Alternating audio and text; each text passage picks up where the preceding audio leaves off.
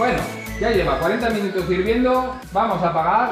No se nos ha agarrado nada prácticamente, no ha hecho falta darle vueltas porque el propio hervor ha hecho que se remueva la mezcla y ahora lo que debemos de hacer es esperar a que alcance una temperatura de 70 grados. Si tenemos espacio suficiente en la olla, como se nos ha consumido agua, podemos añadirle agua, pero siempre dejando espacio para echar la malta y así también conseguiremos bajar la temperatura y si conseguimos que nos baje a 70 grados, pues no tendremos tampoco que esperar mucho más.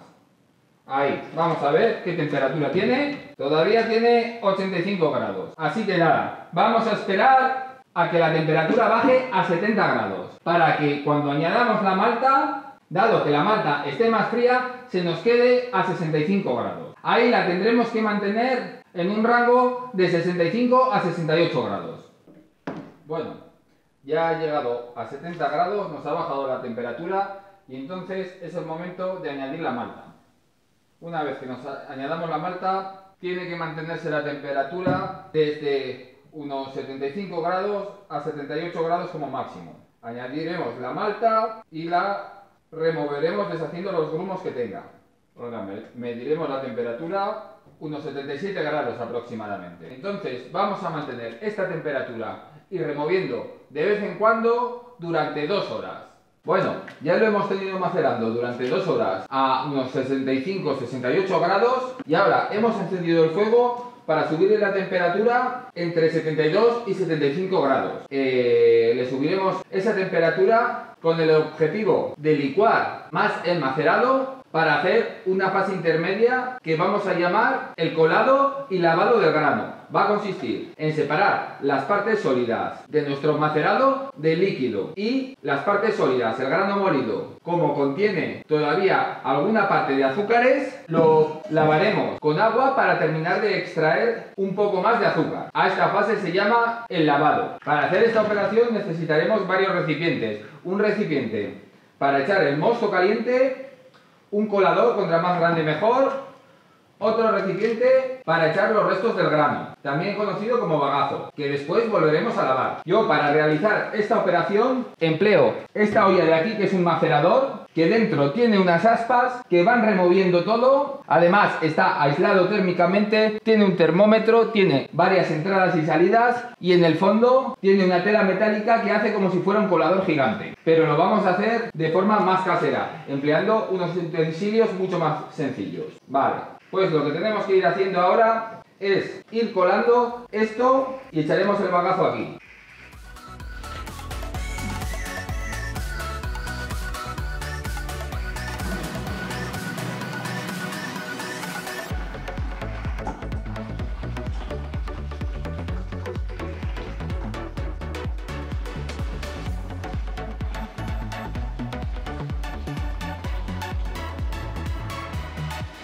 Escurriremos muy bien el grano, ya que absorbe mucha agua,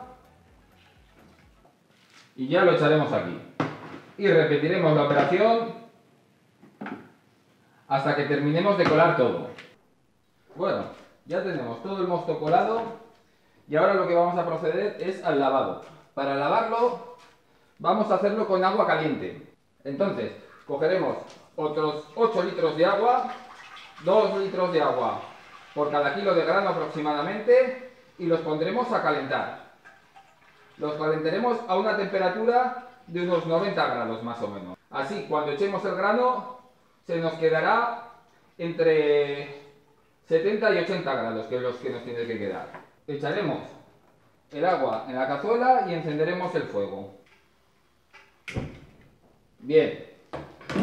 Luego echaremos el grano aquí. No lo echamos aquí directamente porque así calentamos primero el agua y no, y no nos tenemos que preocupar de si se nos puede agarrar. Entonces primero calentamos el agua y luego echaremos el grano. Mientras tanto os voy a comentar algunas cosillas.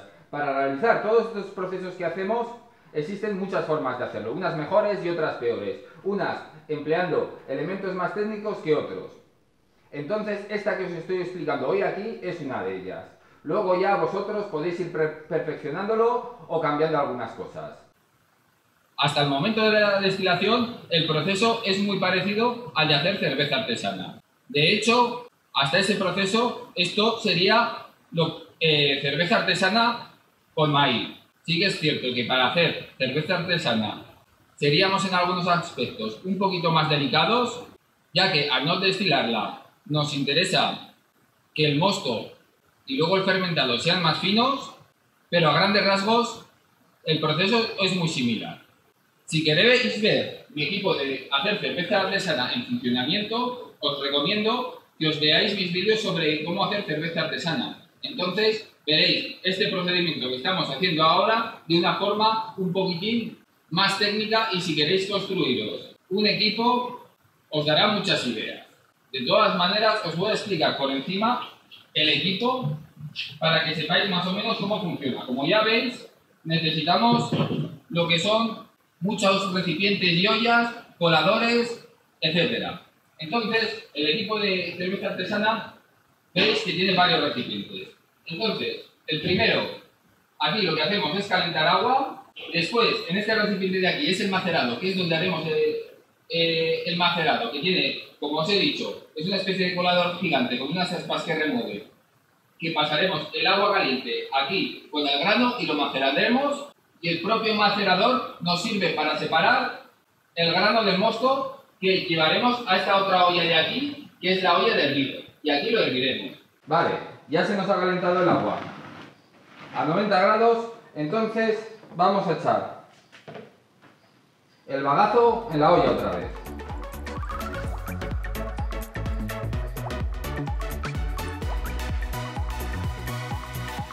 Daremos unas pocas vueltas y volveremos a repetir la operación de colarlo.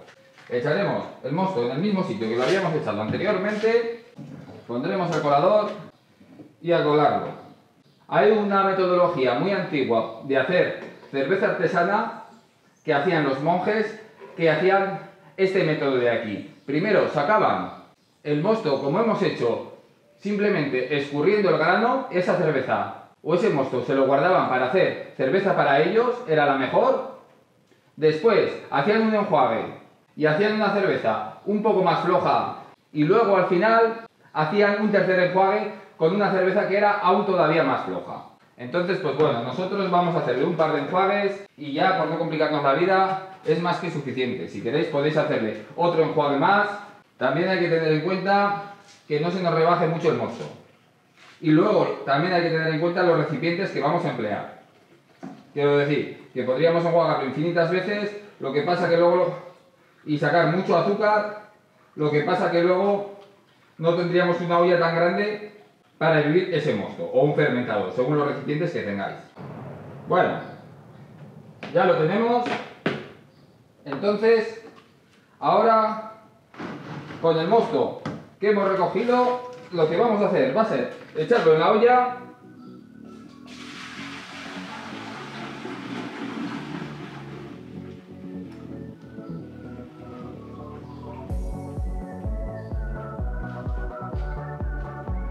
Si no os cabe todo, no hay problema en que lo hagáis en varias ollas o en varias veces.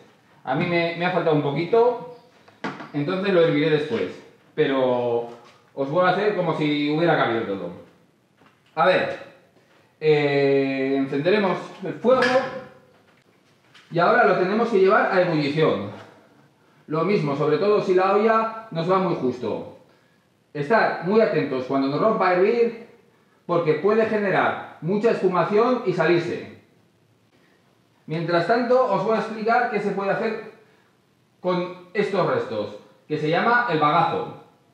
Una cervecería de aquí que se llama Ámbar nos explicaron una vez que habían hecho un convenio con una cadena de panaderías que ellos les proporcionaban una parte de bagazo y lo empleaban para hacer pan de bagazo. Evidentemente, se le echa una proporción pequeña, no se le echa mucha proporción ya que tiene mucho contenido en fibra y es una fibra muy vasta y rasparía mucho. Luego también es alto en proteínas, debido a que la gran parte de los hidratos de carbono se los hemos quitado, ha subido el porcentaje de las proteínas.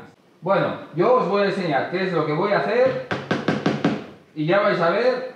Bueno, como os he dicho, el bagazo es muy rico en proteínas entonces, yo esta proteína buena la voy a transformar en otra proteína aún mejor. en la proteína de huevo. Para ello, mirad lo que voy a hacer. Si les encanta.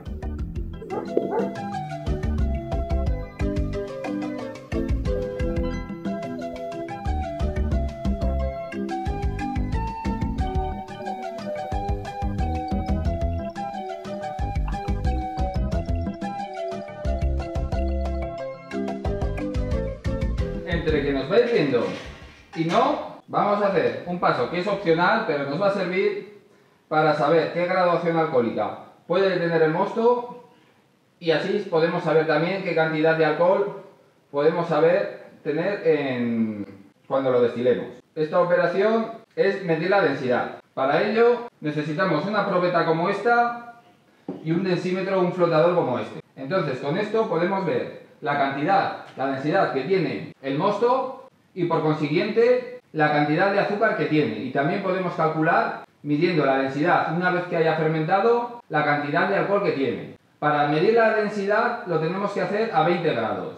Entonces, yo he llenado la probeta, ahora está a bastante más de 20 grados, tenemos que esperar que se nos enfríe esto por debajo de 50 grados mínimo, si llega a 20 mejor. ¿Por qué digo por debajo de 50 grados? Pues porque tenemos unas tablas de correcciones que se pueden aplicar por debajo de 50 grados. Y si dejamos que baje a 20 grados, no habrá que aplicar ninguna corrección. Pero bueno, simplemente mediremos la densidad, que os la diré, vamos a esperar que se enfríe un poco y luego este mosto de aquí lo echaremos a la olla cuando esté hirviendo, ya que el paso de hervir nos va a servir para desinfectar el mosto. Bueno, ya lo tenemos hirviendo, veis que hay espuma, si queréis podéis quitarla, da igual.